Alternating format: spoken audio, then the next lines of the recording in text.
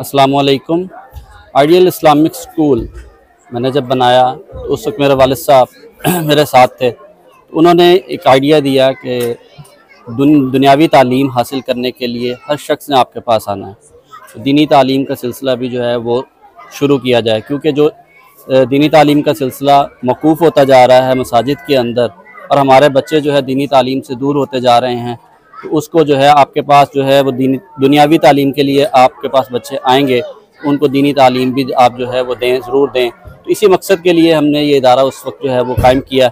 अल्हम्दुलिल्लाह हम आज कोशिश कर रहे हैं कि हम इस पर पूरा उतरें और इसको करें। आज का प्रोग्राम हमने जो है वो भी इसी लिहाज से जो है वो करवाया है और किया है कि भाई तमाम प्रोग्राम जो हैं वो बग़ैर म्यूज़िक के, बग़ैर इन चीज़ों के इस्लामिक वैल्यूज़ के साथ हो सकते हैं और तमाम प्रिंसिपल हजरात जो हैं और तमाम इदारा हाजा को भी मेरा मैसेज है कि वो भी इसी तरह के प्रोग्राम मनद करवाएँ और अपने इदारों के अंदर से ये म्यूज़िक, डांस और ये दूसरी एक्टिविटीज़ को ज़रूर निकालें जो हमारे बच्चों को जो है वो दूसरी साइड पे लेके जा रही हैं।